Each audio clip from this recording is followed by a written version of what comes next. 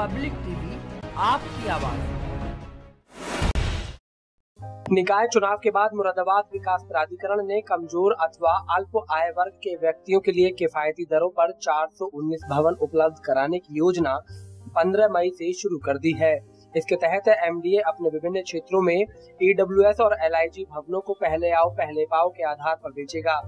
ये योजना 31 मई तक के लिए अभी लागू की गई है मुरादाबाद विकास प्राधिकरण के सचिव राजीव पांडे ने बताया कि इस योजना के अंतर्गत मझूला और नया मुरादाबाद के सेक्टर 16 बी में निर्मित तीन मंजिले ईडब्ल्यूएस भवन और ढक्का एवं देरी मुस्तकम में चार मंजिले एलआईजी भवन उपलब्ध हैं। मझूला योजना ईडब्ल्यूएस भवनों की न्यूनतम कीमत चार लाख सत्रह हज़ार पाँच सौ रूपए और नया मुरादाबाद सेक्टर 16 बी में स्थित ईडब्ल्यूएस भवनों की न्यूनतम कीमत चार लाख तेईस हज़ार दो सौ रूपए रखी गई है धक्का योजना के एलआईजी भवनों की न्यूनतम कीमत उन्नीस लाख नवासी हज़ार सौ रूपए और देहरी मुस्तकम योजना में निर्मित एलआईजी भवन की न्यूनतम कीमत इक्कीस लाख इकसठ हज़ार सौ रूपए निर्धारित की गई है। सचिव ने बताया कि प्राधिकरण द्वारा पुराने दरों पर ही इस वित्तीय वर्ष में ये योजना खोली गई है।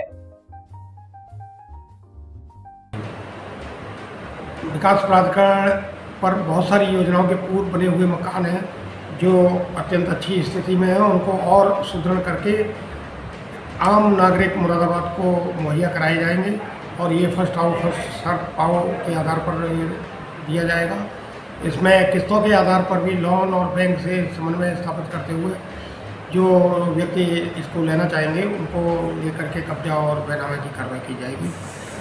और जो गरीब लोग हैं, जो जिनके पास मकान मुहैया नहीं है, उनको बसाए जाने के लिए प्रार्थना बहुत सर्वोच्च प्राथमिकता के आधार पर कार्य कर रहा है।